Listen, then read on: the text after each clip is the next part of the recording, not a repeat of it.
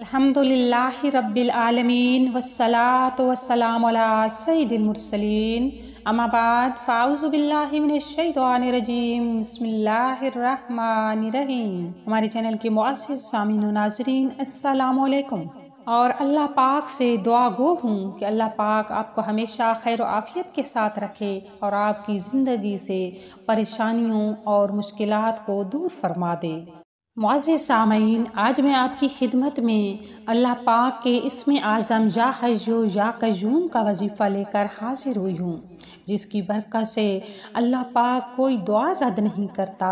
अल्लाह पाक से जो दुआ मांगी जाती है, अल्लाह पाक उस हर दुआ को कबूल फरमा लेता है। मुआज़ सामीन मैंने अक्सर लोगों से सुना है, वो कहते हैं कि हमारी दुआएँ कबूल नहीं होती। अल्लाह पाक हमारी हाजतों को, हमारी दुआओं को नहीं सुनता तो मुझे बड़ा अफसोस होता है उन लोगों की इस सोच पर। अल्लाह पाक तो बड़ा रहीम है, बड़ा करीम है, वो अपने बंदों से बहुत ज़्यादा प्यार करता है।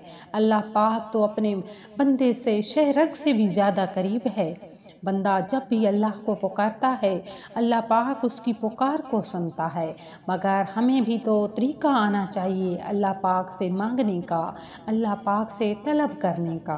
अल्लाह पर यकीन करते हुए मांगना चाहिए, क्योंकि हम जब अल्लाह पर यकीन करते हुए मांगते हैं, अल्लाह को एक मानते हुए, अल्लाह को अपना मालिक मानते हुए जब अल्लाह से हम दुआ करते हैं तो अल्लाह पाक हमारी दुआ को ज़रूर सुनता है। जैसा कि मैंने ज़िक्र किया कि आज का वजीफ़ा या हयो या कयूम के साथ ख़ास है। या हयो या कयूम इसमें आसम है और इसके ज़रिए से बंदा जो भी दुआ करता है, वो दुआ कबूल हो जाती है। इसमें आज़म के ज़रिए की गई दुआ रद्द नहीं होती। इसमें आज़म के ज़रिए मांगी जाने वाली दुआ कबूल हो जाती है।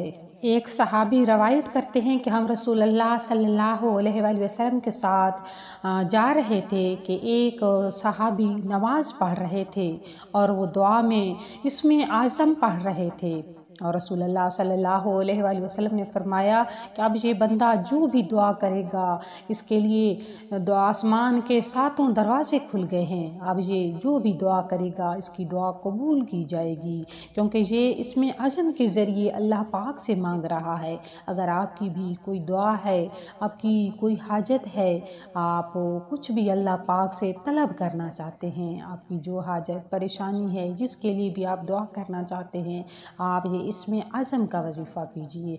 आपने अव्वल आखिर तीन तीन मरतबा दरूद पाक पढ़ लेना है और दरमियान में सौ मरतबा, या हजो, या कयूम या हयो या कयूम इसका व्यर्थ करना है। और फिर अल्लाह पाक से नहायत आजी के साथ, नहायत खुशु खुजू के साथ और यकीन के साथ दुआ करनी है कि असल बात तो यकीन ही है।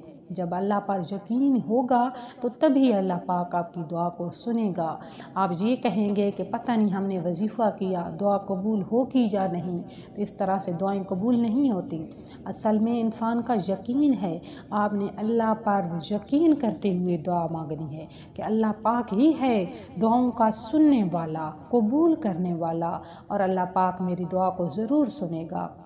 तो इन ताला आप जिस दुआ के लिए हाथ उठाएँगे, अल्लाह पाक आपकी उस दुआ को कबूल फरमाएँगे। तो ये था दुआ की कबूलियत का वजीफ़ा और इसी के साथ हमें दीजिए इजाज़त। वाखिर दवाना अलहमदिल्ला रबालमीन अल्लाह हाफिज़।